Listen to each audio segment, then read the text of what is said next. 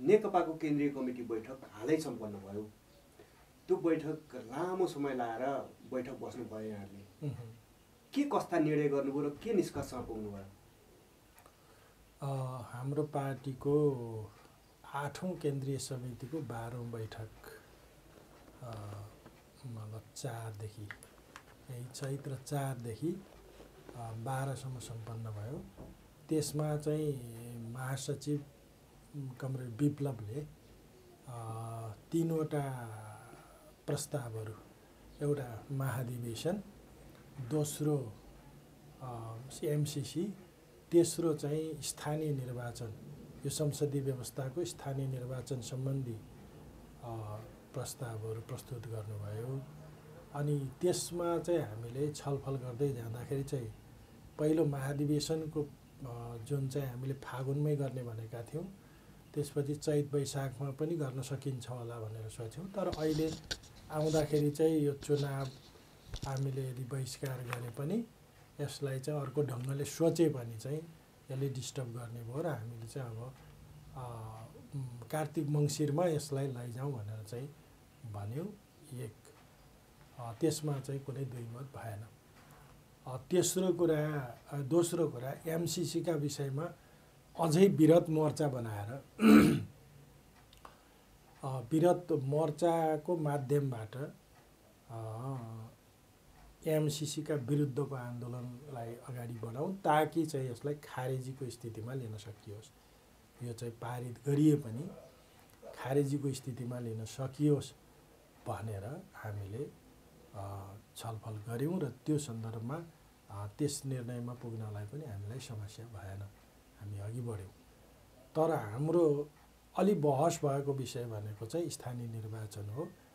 निर्वाचन सम्बन्धी सैद्धान्तिक कुरा के छ भन्दाखेरि चाहिँ यो कार्यनीतिको विषय हो भन्ने नै छ। हिजो सिद्धान्तमा चाहिँ छलफल भएको विषय चाहिँ अथवा लेखिएको विषय मार्क्सवादले भन्ने कुरा। तर कार्यनीतिको विषय भए पनि आज आउँदाखेरि चाहिँ यो रणनैतिक विषय भएको छ। नेपालका सन्दर्भमा अझ यो संवेदनशील भनेको छ। यसलाई कार्यनीति भनेर जाने उपयोग गर्ने र त्यस क्रममा चाहिँ कम्युनिस्ट पार्टीहरू त्यहीँ फेरि ब्ल्याक होलमा पस्या जस्तो कृष्ण विवरमा पस्या जस्तो चाहिँ भन्ने स्थिति जो बनेको छ र यो स्थिति लाई चाहिँ हेर्दाखेरि चाहिँ अलि बहस हाम्रो भयो र त्यो बहसका प्रक्रियामा लामै छलफल भयो एघार दिन। एघार दिनको छलफलपछि हामी के निष्कर्षमा पुग्यौँ भने संसदीय व्यवस्था अन्तर्गत हुने निर्वाचनमा हामी भाग लिँदैनौँ होइन? भाग लिँदैनौँ र पार्टी पनि हामी दर्ता गर्दैनौँ। त्यसपछि गएर चाहिँ हामीले यो तपाईँको चाहिँ यदि आवश्यक पऱ्यो भने त्यस्ता देशभक्त खालका एमसिसी विरोधी र चाहिँ तपाईँको जनपक्षीय खालका चाहिँ उम्मेदवारलाई त्यस्तो त भन्नुभयो तर चाहिँ के भयो भने पार्टीको सुदूरपश्चिमका नेताहरूले एमालेसँग चुनावी तालमेल गर्ने भनेर चाहिँ छलफल अघि बढाइरहनु भएको छ। अनि चाहिँ यो अवस्थामा हामीले कसरी बुझ्ने त यो? यदि कसैले चाहिँ अब कुनै पार्टीसँग चाहिँ साँठगाँठ गर्ने अथवा चाहिँ औपचारिक रूपमै भाग लिने भनेर पार्टीकै तर्फबाट त्यो खालको गर्छ भने त्यो भनेको अराजक क्रियाकलाप हो त्यो चाहिँ। अनुशासनहीन क्रियाकलाप हो त्यस्तो क्रियाकलाप नहोस् भन्नका लागि हामी मतलब केन्द्रीय कार्यालयलाई अनुरोध गर्दछौँ। जस्तो यो चुनावमा भाग लिने कुरा चाहिँ कस्तो अलि अस्पष्ट नबुझिने खालको गर्नुभएको जस्तो चुनावी एक थरी नेताहरूले चाहिँ चुनावमा भाग लिने कुरा गरिरहनु भएको छ एक थरीकाले बहिष्कारको कुरा गरिरहनु भएको छ। यो निर्णय अलि फितलो खालको गरियो अलि जनताले नबुझिने खालको गरियो भन्ने चाहिँ परे होइन। होइन त्यस्तो परेको छैन। किन भन्दाखेरि चाहिँ परम्परागत बहिष्कार पनि होइन यो होइन? परम्परागत उपयोग पनि होइन। यो चाहिँ हामीले बिच बाटोबाट एकातिरबाट जाँदाखेरि चुनावबाट जाँदाखेरि पनि भुमरीमा फसिने होइन? हुइरिल पुल भन्छन् जसलाई अङ्ग्रेजीमा भुमरीमा फसिने। अर्कोतिर चाहिँ बहिष्कारबाटै जाँदाखेरि पनि चट्टानमा ठोक्किने। र यो बिचको चट्टान र भुमरीलाई छलेर जाने बाटो नै यो अहिलेको चाहिँ अब हाम्रोबाट भाग नलिने भन्ने हो। जनाधार नै नभएकाले यो निर्णय गर्नुभयो भन्ने खालको कुरा पनि आइरहेको छ। होइन जनाधार नै नभएको भन्ने त होइन। जनाधार चाहिँ हाम्रो छ अथवा चाहिँ हामीप्रति जनताको चाहिँ आशाको दियो बलिरहेको छ। यद्यपि तपाईँहरूले भन्नुभयो जस्तै जति हुनुपर्ने हो त्यो खालको नहोला होइन? अहिले चाहिँ अरू चुनावी पार्टीको जस्तो नहोला। तर हामीले यति बेलाको परिस्थिति के हो त भन्दाखेरि चाहिँ नम्बर एक त हामीले उनासत्तरीमा विद्रोह गर्दा के भनेका छौँ भन्दाखेरि चाहिँ यो संसदीय व्यवस्था मान्दैनौँ र यसको चाहिँ संविधान र कानुन पनि मान्दैनौँ भनेर रत्न पार्कमा जलाएर अर्को संविधान घोषणा गरेका छौँ नम्बर एक। नम्बर दुई त्यहाँबाट पनि अगाडि बढे एकहत्तर सालमा हामी फेरि वैद्यजीले पनि सक्नु भएन हामी सक्छौँ भनेर अघि बढेका छौँ। त्यसपछिको प्रक्रियामा जो एकीकृत जनक्रान्तिको रिहर्सल जस्तो भयो त्यो रिहर्सलका प्रक्रियामा पनि हाम्रा एक दर्जन साथीहरूले शहादत प्राप्त गरिसकेका छन् र अरू पनि थुप्रै क्षतिहरू भएका छन्। घाइते साथीहरू पनि थुप्रै छन्। र त्यसपछि गएर तेस्रो कुरा चाहिँ प्रतिबन्ध पनि बेहोऱ्यौँ हामीले दुई वर्षको र त्यो प्रतिबन्ध बेहोरिसकेपछि हाम्रो पार्टी र चाहिँ सरकारका केपी ओलीको नेतृत्वको सरकारका बिचमा पनि हाम्रो छलफल भएर तिन बुधे सहमति भइसकेको छ। त्यो तिन बुधे सहमतिलाई लिँदाखेरि पनि अहिले त्यसको कुनै पालन भएको छैन होइन? पालन भएको छैन अथवा चाहिँ सरकारले तिन बुधे सहमति लागू गरेको छैन त्यसलाई चाहिँ कार्यान्वयनमा लिएको छैन। त्यो अवस्था छ र साथीहरू बन्दी छन् अर्को कुरा। त्यो प्रश्नलाई अलिक फेरि 50 जना अहिले जोडौँला। जस्तो स्थानीय चुनावमा त्यस भए तालमेल आधिकारिक रूपमा पार्टीले गर्दैन। गर्दैन। यसरी चाहिँ तालमेल पार्टीले गर्दैन। कुनै पनि पार्टी पार्टीसँग गर्दैन। स्वतन्त्र। ढङ्गले आफ्नो ढङ्गले स्वतन्त्र ढङ्गले कोही साथीहरू जान सक्छन्। र पार्टीबाट राजीनामा दिएर चाहिँ भाग लिन सक्छन् स्वतन्त्र रूपमा। राजीनामा दिएको घोषणा गर्नुपर्दछ तिनले होइन? त्यो पार्टी च्यानलमा। त्यस्तालाई पनि समर्थन गर्न सकिने भयो त्यहाँ चाहिँ समस्या हुँदैन। र पार्टीले चाहिँ कसैसित एलायन्स गर्ने अथवा चाहिँ कसैसित के गर्ने भन्ने कुरा यदि गरेको खण्डमा के गर्नुहुन्छ? गरेको खण्डमा कारवाही हुन्छ। कारबाही हुन्छ। जस्तो पार्टीको बैठकमा महासचिव त स्थानीय चुनाव उपयोग गर्ने भनेर प्रस्तावै गर्नुभएको थियो। तपाईँहरू त फेलै गराइदिनु भयो है। होइन यस्तो हो कहिलेकाहीँ कस्तो हुन्छ भने परिस्थितिको विश्लेषण गर्दाखेरि चाहिँ लिडरसिप पनि गलत निष्कर्षमा पुग्न सक्छ होइन? गलत निष्कर्षमा पुग्न सक्छ। र हामीले के भन्यौँ भन्दाखेरि चाहिँ अहिलेको वस्तुस्थिति त्यो होइन। होइन? अहिले चाहिँ चुनावमा भाग लिने वस्तुस्थिति होइन। वस्तुस्थिति के हो भने सारा आज चाहिँ अडचालिस उन्चास सालको स्थिति पनि होइन नेपालमा अथवा उन्नाइस सय छतिरको डुमा पनि होइन यो चाहिँ होइन? आज के हो भन्दाखेरि चाहिँ नेपाल हो।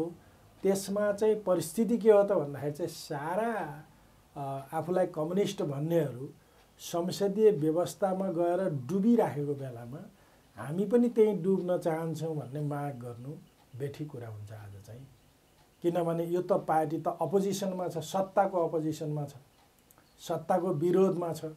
त्यस कारणले सत्ताको विरोधमा छ र हामीले के चाहिँ प्रस्ताव कार्यनीति भर्खरै पारित गरेका छौँ केही दिन पहिले भन्दाखेरि चाहिँ यो जनमत व्यवस्थाकै चुनाव गरौँ शान्तिपूर्ण तरिकाले जाउँ व्यवस्थाको चुनाव गरौँ। यो संसदीय व्यवस्था कि चाहिँ वैज्ञानिक समाजवाद भनेर चुनाव गरौँ। त्यो चुनावमा जाउँ भन्ने कुरापट्टि चाहिँ त्यताबाट ध्यान हटाएर यही व्यवस्थाको चुनावमा जाने भए त त्यो चाहिँ अस्ति भर्खरको निर्णयको उल्लङ्घन पनि हो होइन?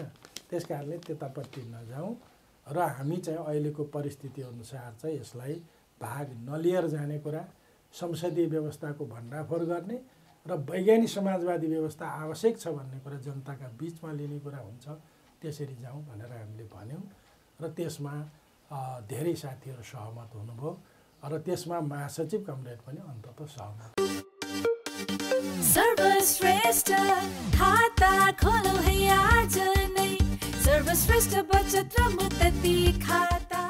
सोध्नै पर्ने बैठकमा पनि एउटा कुरा उठ्यो अरे आर्थिक रूपमा तपाईँले हिनामिना गरेको भन्ने कुरा के हो खास त्यो? अलिकति थोरै भनिरहन्थ्यो कि? त्यो कस्तो हुँदो रहेछ भने वैचारिक रूपमा मतलब अगाडि बढ्न नसकेपछि वैचारिक रूपमा जित्न नसकेपछि प्राविधिक कुरा भिडाइदिने। कसका कहाँ कहिले के थिए त्यो भिडाइदिने। त्यस्ता कुरा गर्ने हो भने त ती सबै कुराहरू उहाँमै जान्छन् होइन? उहाँ मतलब महासचिवमै जान्छ होइन? महासचिवका नै ती दोषहरू हुन्छन्।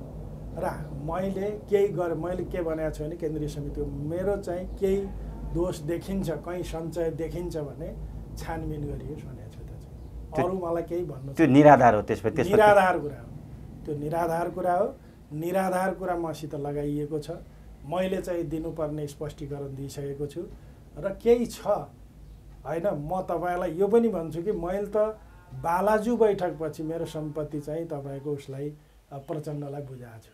किनभने सम् के अरे उ गर्ने भने सम्पत्तिको चाहिँ हिसाब दिने अथवा सर्वहाराकरण गर्ने भनेर ल्याएँ साँच्चै होला भन्ठाने मैले। होइन त्यो अरूले बुझाएनन् मैले बुझाएँ। मेरो त वास्तवमा मेरो नाममा अहिले केही पनि छैन होइन? यही डेरा हो। यो सबै चाहिँ पार्टीकै भरमा हो फेरि चाहिँ। मेरो केही चाहिँ अरू उत्पादन पनि छैन त्यस्तो चाहिँ। त्यो ढोङ्गी कुरा पनि गर्न हुँदैन। म जति बाँचेको छु एक पार्टीको चाहिँ उसमा गरेर बाँचेको छु यसैमा काम गरेको छु होइन? अरू छोराछोरी बच्चा बच्ची आफ्नो किसिमले जागिरी खाएर गरेर अथवा चाहिँ विभिन्न ढङ्गले चाहिँ पालिरहेका छन् घरमा काम गरेर होइन? एउटा छोरा त विवश भएर पुलिस पनि भयो होइन? त्यसरी पनि गरे। त्यसैले गर्दाखेरि बुझिएन के भन्नुभयो छोरो चाहिँ? छोरो चाहिँ प्रहरी पनि भयो। प्रहरी पनि जागिर खाएको छ होइन? त्यसैले गर्दा टोटलमा तपाईँले हेर्नुहुन्छ भनेदेखि तपाईँहरू आफू पनि जाँचबुझ गरे हुन्छ होइन? म मिडियाका साथीहरूलाई पनि भन्न चाहन्छु। अब जनआस्था जस्ता पत्रिकाहरूले चाहिँ म गएर केही नेताहरूले समाचारै लेखेर चाहिँ गए होइन? उनीहरूलाई म चुनौती दिन्छु। जसले त्यो समाचार लेखेको छ त्यसैले घरको तला थपेको छ मेरो आएर हेरोस् न के बिजोग छ चाहिँ यहाँ। त्यो चुनौती दिन चाहन्छु म चाहिँ त्यो निराधार अब के भन्ने गरिएको छ भने तपाईँकै पार्टी महासचिव चाहिँ माओवादी केन्द्रसँग चुनावी तालमेल गरेर जाउँ भन्ने। तपाईँकै पार्टी प्रवक्ता चाहिँ केपी ओली नेतृत्वको नेकपा एमालेसँग चाहिँ चुनावी तालमेल गरेर जाउँ भन्ने कुरा छ। तपाईँ लगायत धर्मेन्द्र पास्तोला लगायत नेताहरू चाहिँ चुनाव बहिष्कार गरौँ भनेर जाने स्थिति छ। जसले गर्दा पार्टी एउटै पार्टी तिनतिर चाहिँ फर्किएको छ तिन धारमा गएको छ भनेर भन्ने गरेका छन् नि। कि त्यो यस्तो हो? होइन त्यो त आधिकारिक कुरा होइन। बाहिर चाहिँ मान्छेहरूले अनुमानका भरमा मिडियामा पनि त्यस्तो छापिएको मैले पाएँ होइन? अथवा त्यस्तो भनेको पाएँ त्यस्तो छैन। र हामीले चाहिँ कुनै पार्टीसित एलायन्स गरेर जाउँ अथवा एकता गरेर जाउँ भन्ने भएको छैन। अब यसमा पार्टीको आधिकारिक धारणा भन्दाखेरि चाहिँ तर बाहिर चाहिँ त्यस किसिमले आयो त्यो किन आयो त्यसपट्टि नजाउँ। र हाम्रो चाहिँ आधिकारिक धारणा के हो भन्दाखेरि चाहिँ अहिले चुनावमा भाग नलिउँ र संसदीय व्यवस्थाको चुनावमा भाग लिन हुँदैन। किनभने हाम्रा बन्दी साथीहरू रिहाई भएका छैनन् तिनलाई जेलमा राखेर हामी भाग लिन हुँदैन यो व्यवस्थाको चुनावमा। यही व्यवस्थाले हालेको हो होइन? अर्कोतिर त्यत्रो चाहिँ बाह्र बाह्रजना चाहिँ शहीदहरू अ, ले ज्यान गुमाएका छन् वीरहरूले ज्यान गुमाएका छन् त्यो कुरा पनि सम्झनुपर्छ। तिनका परिवारहरू चाहिँ ले न्याय पाएका छैनन् होइन? उनीहरूलाई शहीद घोषणा गरिएको छैन। त्यो तिन बुधे सहमतिमा पनि त्यहाँ गर्नुपर्थ्यो त्यो चाहिँ। यद्यपि राजनैतिक समस्याको समाधान पछि गरौँला भनेर त्यहाँ एक नम्बर बुदामा लेखिएको छ होइन? त्यसो भए हुनाले अहिले चाहिँ हामी कसैसँग गठबन्धन गर्ने अथवा कस कहाँ को जाने भन्ने कुरा होइन। पार्टीको चाहिँ अहिले कसैसित त्यस्तो खालको गठबन्धन जस्तो वैज्ञानिक समाजवाद स्थापना गर्नको लागि तपाईँहरू प्रचण्ड नेतृत्वको माओवादी वैद्य नेतृत्वको क्रान्तिकारी माओवादी छुट्टिँदै अहिले तपाईँको सात वर्ष भएछ तपाईँहरू अलग भएको। यो सात वर्षको अवस्थामा घुमिफिरी त्यही संसदीय चुनाव उपयोग गर्ने ठाउँमा आइपुग्नुभयो त्यो प्रतिबन्धको अवस्थामा तपाईँहरूका तेह्रजना चाहिँ युवा कार्यकर्ताले ज्यान गुमाउनु भयो। कहिलेकाहीँ लाग्दैन हात्तेरिका के गल्ती गरिएछ? बरु यही माओवादी केन्द्रमै बसिरहे भए हुन्थ्यो भन्ने चाहिँ परेको छैन? यस्तो होइन। हामीले चाहिँ अब सत्य कुराको खोजीमा लाग्दाखेरि चाहिँ सही गलत दुइटै हुन्छ होइन। त्यसैले हामीले अब त्यहाँ जानु त त्यहीँ रहनु पनि बेठिक हुन्थ्यो। फेरि त्यसको विरोध हामीले गरेपछि त्यस त्यसमा रहिरहनु नैतिकताको विषय हुँदैन होइन। किन संसदीय व्यवस्थाको विरोध हामीले गऱ्यौँ र त्यो पार्टी संसदीय भयो भनेर हामीले त्यहाँबाट विद्रोह गरेका हौँ। यो कुरा सही थियो। तर आज चाहिँ सात वर्षको यो अवधिमा फेरि पार्टी चाहिँ त्यतैपट्टि लागेको दुनियाँलाई जो बनेको छ धारणा होइन? जे हामीप्रति बनेको थियो र मान्छेहरूले के पनि भन्थे भने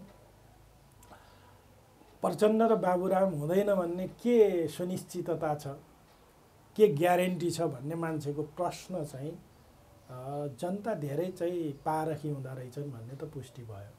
त्यो पुष्टि भयो त्यो पुष्टि हुनसक्छ तर हामी के गर्छौँ भन्दाखेरि चाहिँ यो किसिमको अवस्था भयो र चाहिँ उहाँहरू यसरी नै जाने सोच्नुभयो भने त हामी फेरि यहाँबाट पनि विद्रोह गर्नुपर्ने हुन्छ। जस्तो यो प्रतिबन्धको अवधिमा तेह्रजना कार्यकर्ताकोले ज्यान गुमाउनु भयो सयौँलाई मुद्दा छ एक सयजनाभन्दा बढी अझै जेलमै पनि हुनुहुन्छ। अनि कहिलेकाहीँ यो के भाउ त लाएर यस्तो गरिएछ भन्ने चाहिँ लाया चाहिँ छैन अहिले। होइन यो त अब हामीले राज्य सत्ताकै विरुद्ध चाहिँ आवाज उठाइसकेपछि राज्य सत्ताकै विरुद्ध अगाडि बढिसकेपछि त स्वाभाविक रूपमा जेल नेल हुन्छ। स्वाभाविक रूपमा चाहिँ च्यान हत्केलामै राखिएको हुन्छ खुकुरीको धारमै राखिएको हुन्छ। त्यस कारणले अब यो हुन्छन् परिघटनाहरू चाहिँ यो त हुने कुरा भइहाल्यो। यसबाट चाहिँ उपलब्धिहरू चाहिँ कम हुँदा र चाहिँ क्षति बढी हुँदा फेरि कहिलेकाहीँ के भयो र कसरी जाने हो भन्ने समीक्षा त हुन्छ फेरि चाहिँ। एउटा समीक्षा गर्नुपर्ने हुन्छ। क्रान्तिकारीहरूले समीक्षा गरेर उज्यालोतिरै हेरेर अगाडि बढ्छन्। फेरि चाहिँ अलिकति क्रान्तिकारी हुन सकिएन अथवा भनौँ गैर मार्क्सवादी भइयो भने त फेरि निराशातिर जाने कुरा हुन्छ। किनभने त्यो अँध्यारो बढी देखिन्छ। अँध्यारोभित्र पनि कहिलेकाहीँ जुनकिरी बलिरहेको हुन्छ नि जुनकिरीले चाहिँ आफ्नो सानो प्रकाशपुञ्ज झल्काइरहेको हुन्छ त्यही चाहिँ हेरेर पनि हामी गन्तव्यमा अगाडि लम्कनुपर्ने हुन्छ। अब पार्टी एउटा चाहिँ रणभुल्ल अवस्थामा छ। कार्यकर्ता छोडिदेऊ भनेर नेताको दैलो दैलो पनि चाहर्नु भएको छ। त्यो पनि केही भएको छैन। तिन बुधे सहमति पनि त्यस्तै भएको छ। अब यो प्रक्रियाबाट कसरी चाहिँ पार लाउनुहुन्छ त अब? होइन यसको चाहिँ उपाय के हो भने पहिलो कुरा त हामीले पार्टीको लिडरसिपलाई कम्तीमा अलिकति यो बिचको बाटोबाट अगाडि जाउँ भनेर भनेका छौँ उहाँ मान्नु भएको छ अहिले चाहिँ होइन? यो पार्टी समग्र रूपमा रूपान्तरण गर्ने तरिकाले हामी सोध्छौँ कम्युनिस्ट बनाउने तरिकाले हामी सोध्छौँ। तर चाहिँ कम्युनिस्ट बन्न मानेन र चाहिँ दलदल नै हाम्रो गन्तव्य स्थान हो भन्ने सोच्यो भने हाम्रो हात छोड्दिन हामी। अब यो कसरी ल्याउनु होला? अब केन्द्रीय समिति बैठकमा गहुँ काटिरहनु भएको छ बारीमा। त्यही पनि महासचिवकै खेत भनेर भनिया छ। विचारमा रणभुल्ल हुनुहुन्छ। यस्तो हो। अब त्यहाँ त हामी जनताको गाउँ पनि काट्छौँ होइन। अब त्यहाँ पार्टीकै गाउँ हो त्यो चाहिँ होइन। त्यसो कारणले हामी सबै श्रममा त्यहाँ लाग्यौँ। त्यो चाहिँ उहाँको व्यक्तिगतै भए पनि हामीलाई चाहिँ त्यस्तो पश्चाताप छैन श्रम गर्ने कुरामा। तर चाहिँ कस्तो छ भन्नुहुन्छ भनेदेखि चाहिँ स्थिति धेरै बिग्रिसकेको अवस्थाबाट अलिकति माथि त हामीले उठाएका छौँ। यही अवस्था रहिरह्यो र महासचिव पनि चाहिँ त्यो कुवाबाट माथि उठ्न सक्नु भएन भने त हामीले चाहिँ सोध्नुपर्ने हुन्छ। विकल्प खोजिन्छ। विकल्प खोज्छ। त्यो खालको विकल्प भने कस्तो? के हुन्छ? त्यो खालको विकल्प भनेको वैज्ञानिक समाजवादकै बाटोमा अघि बढ्ने भनेको पार्टी विभाजनतिर जान सक्छ भन्ने हो? होइन पार्टी विभाजन भन्दा पनि चाहिँ मतलब पार्टी विभाजन त किनभने हामी वैचारिक रूपले चाहिँ माथि नै छौँ बहुमतमै छौँ होइन? पार्टी विभाजन होइन कि पार्टीको चाहिँ निर्णयका विरुद्ध जानेका विरुद्ध कारवाही गर्नुपर्ने हुन्छ। जस्तो अब तपाईँहरूको यो एकीकृत जनक्रान्ति भन्ने एउटा पुस्तक पनि पढ्यो त्यसमा प्राय चाहिँ मिडियामा प्रकाशित आर्टिकलहरूको सङ्ग्रह रहेछ होइन? कतिपय चाहिँ केही सैद्धान्तिक विषयहरू पनि उठाउन खोजिएको छ। त्यसमा समग्र राजनीतिक सामाजिक सांस्कृतिक आर्थिक शैक्षिक लगायत विविध विषयमा प्रश्न छैन। अनि यो यस्तो खालको चाहिँ विचारले तपाईँको चाहिँ बुझाइले चिन्तनले यो देश र समाजलाई कसरी डोर्याउला? रूपान्तरण गर्ला। रूपान्तरण गर्ला। होइन अब जुन एकीकृत जनक्रान्ति भन्ने चाहिँ हाम्रो पार्टीको कार्यदिशाका रूपमा त्यसलाई संश्लेषण गरिएको हो। कार्यदिशा भनेको क्रान्ति गर्ने बाटो हो त्यो चाहिँ। क्रान्तिको एउटा प्रक्रिया हो विधि हो। अब त्यसमा चाहिँ स्वाभाविक रूपमा तपाईँले भने जस्तै केही अब सुरुवात भएको हुनाले कमी कमजोरीहरू त छन् तर हामीले त्यसको चाहिँ आधारहरू तयार गरेका छौँ होइन? त्यसका चाहिँ मतलब कदमहरू तयार गरेका छौँ र त्यसमा चाहिँ तपाईँको हामीले के गरेका छौँ भन्दाखेरि चाहिँ शत्रु मित्रहरू पनि चाहिँ त्यहाँ तोकेका छौँ। र यसको चाहिँ यो चाहिँ बाटोबाट जाने उपाय यो यसलाई कसरी पनि भन्न सकिन्छ भने एकीकृत जनक्रान्ति भनेको चाहिँ यो वास्तवमा चाहिँ प्रचण्डको फ्युजनको कार्यदिशा जुन थियो त्यो उहाँहरूले छोड्नुभयो। त्यसलाई चाहिँ हामीले डेभलप गरेर ल्याएको कुरा हो यो चाहिँ होइन? त्यसलाई डेभलप गरेर हामीले आफ्नो ओनरसिप लिएर गरेको कुरा हो। त्यसमा दुईवटा कार्यदिशा चाहिँ को समायोजन र विकास गर्न खोजिएको छ। एउटा रुसी मोडेल जो सशस्त्र विद्रोह भन्ने थियो। अर्को चाहिँ चिनिया मोडेल दीर्घकालीन जनयुद्ध थियो। दुइटैलाई चाहिँ मिलाएर हामीले एउटा नयाँ जनयुद्धका रूपमा एकीकृत जनक्रान्ति भनेर हामी गएका हौँ र त्यसबाट त्यसको गन्तव्य भनेको वैज्ञानिक समाजवाद हो। त्यस कारणले यसमा केही चाहिँ कन्फ्युजनहरू त छन् क्लियर गर्नुपर्छ तर यसलाई चाहिँ अलिकति डेभलप गरेर हामी अघि बढ्छौँ। र चाहिँ यो कार्यदिशालाई चाहिँ अलि अघि बढाएर लानुपर्छ भन्ने पनि हाम्रो छ। अब जनयुद्धको एउटा मुख्य भूमिकामा तपाईँ पनि हुनुहुन्थ्यो। यो पछिल्लो समय माओवादी आन्दोलनमा लागेका नेताहरूको वैचारिक रूपमाको त्यो स्खलन वैचा रा के अरे आर्थिक रूपमा त्यो विचलन र एउटा चाहिँ एउटा स्तर हुन्छ नि नेताको त्यो स्तर चाहिँ नदेखेको देख्दाखेरि कस्तो लाग्छ तपाईँलाई?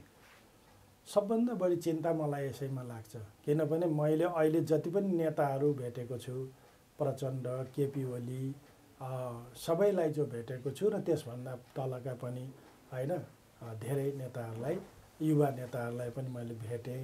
उनीहरूसित चाहिँ भेट्दाखेरि मैले के भनेको छु भने तपाईँहरूमा कतै मार्क्सवादको धुकधुकी छ कि छैन?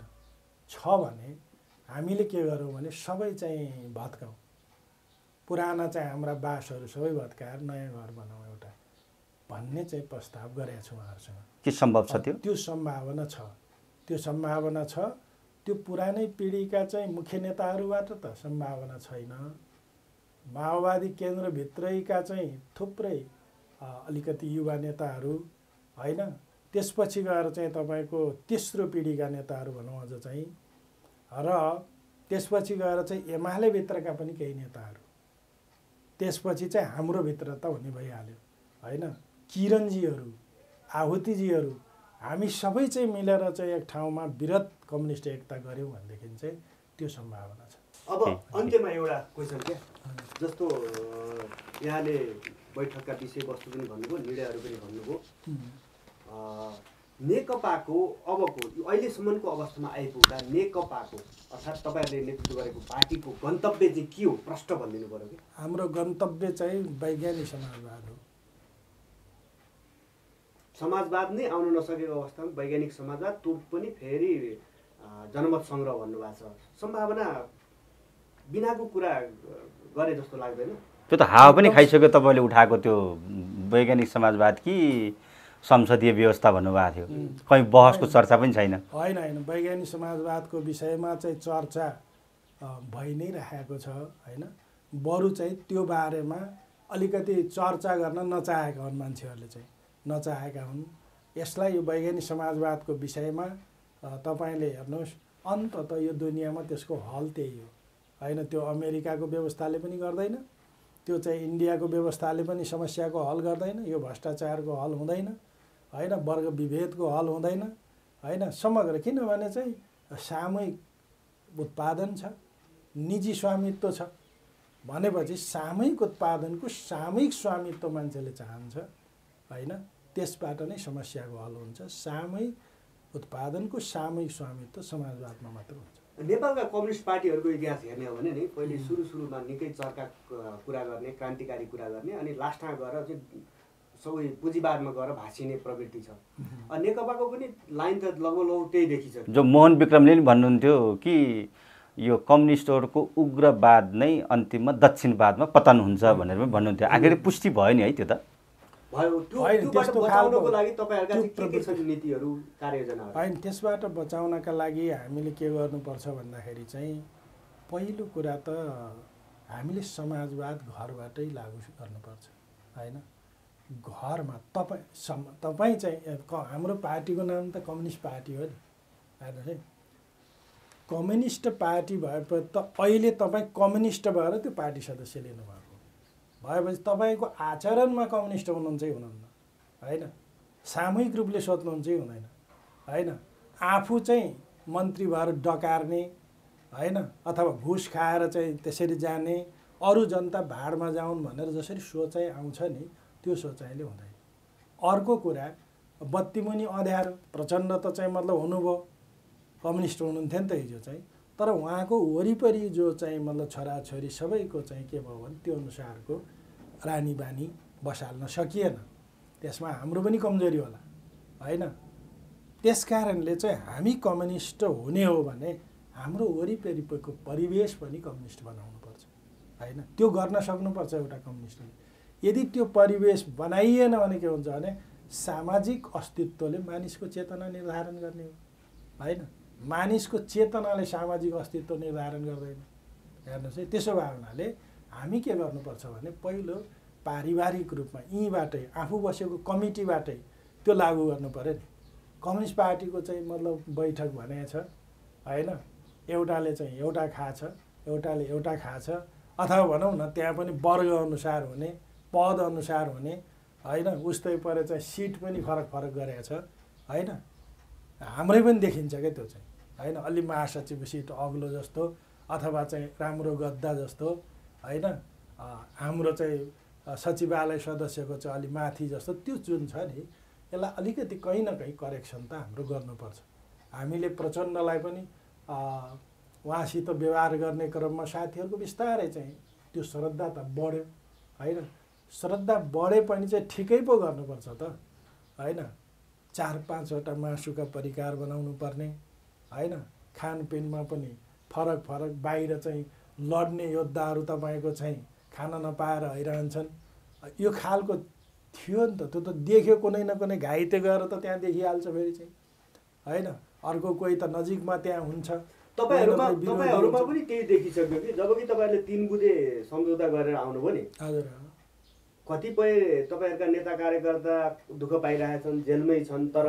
तपाईँहरू बाहिर आउनुभयो आनन्दले बसिरहनु भएको छ बैठक बस्नु भएको छ के गर्नुहुन्छ कहिले गाउँ काट्नुहुन्छ तर उनीहरूका बारेमा न चाहिँ सम्झौताको अर्को अर्को पक्षसित तपाईँहरू कुरा दरोसँगले कुरा गर्नुभएको छ भनेपछि त तपाईँहरू पनि त्यो प्रवृत्ति बिस्तारै पलाएको देखियो नि। त्यही त यस्तो भयो। त्यस कारणले हाम्रो मन नपलाएको भनेर म चाहिँ त्यसरी दाबी गर्ने पक्षमा छैन।